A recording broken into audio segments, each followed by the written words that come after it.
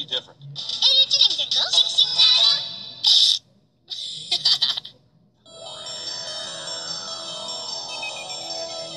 럭키 금성이 이제 LG로 바뀝니다.